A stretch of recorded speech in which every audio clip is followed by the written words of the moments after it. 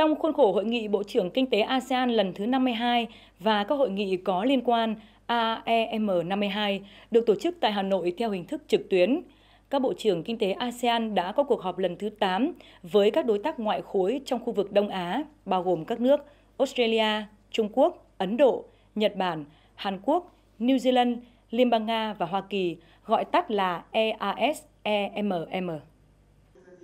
Cuộc họp do Bộ trưởng Bộ Công Thương Việt Nam Trần Tuấn Anh chủ trì tại đầu cầu Hà Nội. Tại cuộc họp lần này, các bộ trưởng ghi nhận rằng đại dịch COVID-19 đã tạo ra nhiều thách thức bất ngờ tới cuộc sống của người dân cũng như sự phát triển kinh tế xã hội cho hầu hết các nền kinh tế trên thế giới. Do vậy, các bộ trưởng hối thúc việc tiếp tục tăng cường hợp tác kinh tế khu vực và chung tay đẩy lùi đại dịch, đảm bảo sự phát triển kinh tế chung trong toàn khu vực, ổn định kinh tế vĩ mô. Các bộ trưởng cũng nhấn mạnh tầm quan trọng của việc duy trì chuỗi cung ứng và khẳng định quyết tâm thúc đẩy thương mại và đầu tư trong khu vực, đặc biệt là đối với những hàng hóa và dịch vụ thiết yếu như y tế, vaccine, thực phẩm cho nhân dân trong toàn khu vực.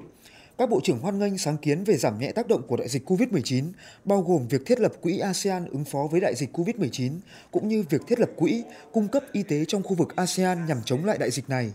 Tại cuộc họp, các bộ trưởng đã trao đổi quan điểm về việc làm thế nào để giữ vững tốc độ tăng trưởng kinh tế, duy trì chuỗi cung ứng và bình ổn thị trường trong khu vực trong bối cảnh đại dịch COVID-19, nhấn mạnh vai trò của công nghệ số và sự hợp tác xuyên quốc gia giữa các nước thành viên của ASEAN. Các ưu tiên trong thời gian tới cần dành cho các doanh nghiệp nhỏ và kinh tế hộ trong quá trình chung tay đẩy lùi đại dịch. Các bộ trưởng nhấn mạnh sự ủng hộ của khu vực đối với việc cải tổ WTO trong thời gian tới và cam kết sẽ phối hợp nhằm cải cách WTO theo phương châm minh bạch, toàn diện, dễ tiên đoán và tất cả vì một hệ thống thương mại đa phương bền vững.